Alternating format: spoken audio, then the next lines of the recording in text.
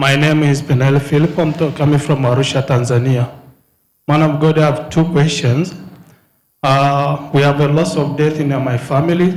I've lost my dad, The my two brothers. Land, the land near the river. Man of God, honestly, I haven't got it right. If you can help me. That land was very big. It has inherited problems before you were born.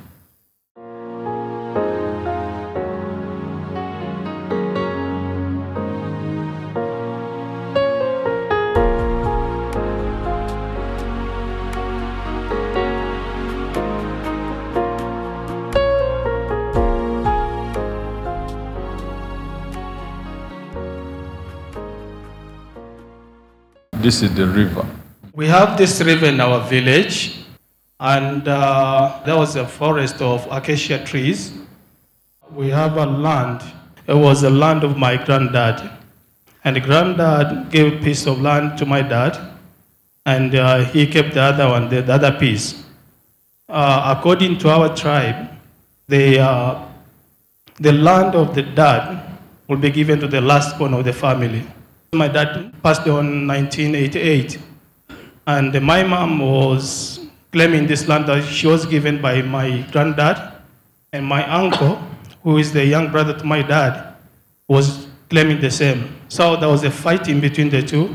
And even as I'm talking now, I mean, there have been their reconciliation, but they are, it's not like there's happiness between the two. There's no love between the two. So I can confirm that, man of God. Because there is a lot of witchcraft going on at the place. Yes, man of God. Father, solve this problem of the eight families. The families concerned, the eight. Father, help him.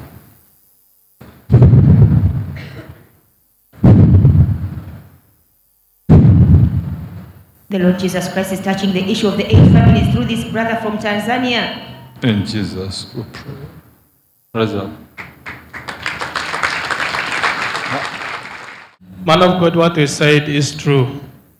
Uh, yeah, there are eight families in this issue, including this issue. So thank you for helping us. But uh, there is an old lady. Did she die? Yes, our grandmom, She became so sick, couldn't see proper. The eyes got problem. Nobody to help her. She was abandoned. She died in agony. we are told that she got sick. And uh, at that time, there was no good, there was no communication like now. And in terms of transport from one village to another, wasn't as easy as now. So when, when she, was, she was admitted in hospital, so she died. She took some, you know, she like cursed the family. That's true, man of God. This is what we've been told by our uncle. Our curses were taken away by Christ Jesus.